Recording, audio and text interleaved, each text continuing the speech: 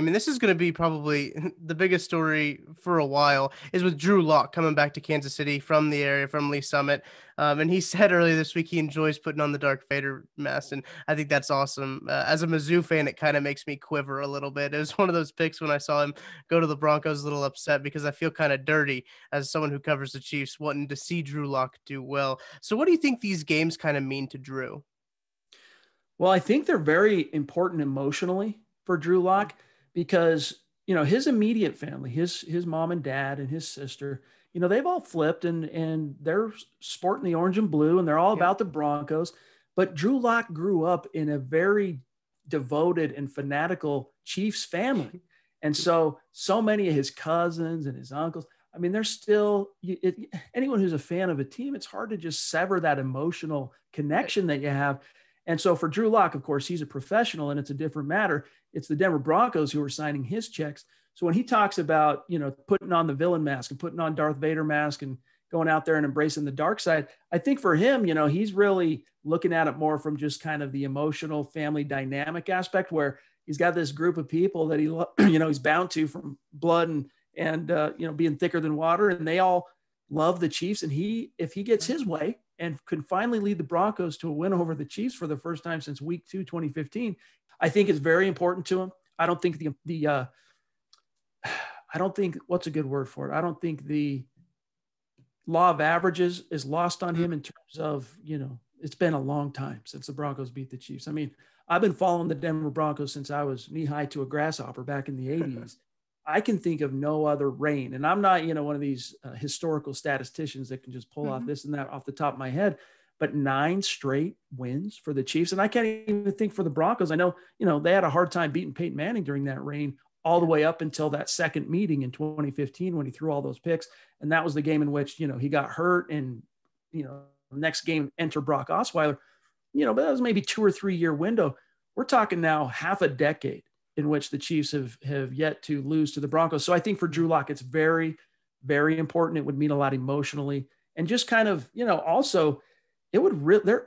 I'd be lying to you if I didn't admit that there's a, I would say it's a minority of Broncos fans, but there is a minority of Broncos fans who now question Drew Lock as is he hmm. the answer long term, and not so much because of anything he has or hasn't done on the field, but more so just because you know, two years now, two serious injuries that have cost him time. They worry that is this a guy that's going to be, you know, compromised because of his health, or is this a guy that can overcome those things?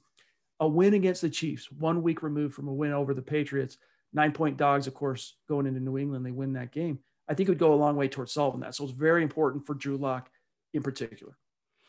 You bring up uh, something that I wanted to talk about next. Do you think people are kind of too harsh on Drew? Like I saw some people on Twitter kind of go at him for his stat line against the Patriots, but they did have three big drops that could have really totally changed his stat line. Four, four big four. Yeah. I mean, three were in the end zone. The fourth one was a was a 40 yard gain, and it was put right on the numbers against arguably the number one corner in the game, and mm. Stephon Gilmore, in which the receiver DaeSean Hamilton had more than one step on his guy. Lock dropped it right in the bucket. If he and it was in stride. If he catches yeah. that, there's always a chance Gilmore can shoestring him and, and bring him down. But there's probably a better than 50-50 chance that Hamilton goes into the end zone. And so, yeah, he, I'll tell you this, Drew Lock was dropping dimes. Anyone who watched that game against the Patriots right. early on, the first two, three quarters, actually, he was dropping dimes. His receivers just let him down. And it's no big surprise why. It's all a young group of guys, inexperienced. And he sat on the sideline for the better part of a month of real time. Chemistry was off, the juice was off, the whole nine yards. So I mm-hmm. understand why things weren't exactly firing on all cylinders. But where it went off the rails and why he's received so much criticism was he had really quarterbacked a good game. He got the Broncos out in front of a multi-score lead on, you know, on the Patriots at Gillette. Mm-hmm. And then a series of three plays. It starts with a muffed snap that he that was his fault. He took accountability for. He fell on it. But that one muffed snap seemed to just kind of discombobulate him. Next mm-hmm. play is on third down. He miscommunicates with the receiver. The receiver's running a nine route. He throws the back shoulder because it's a blitz. It's picked off.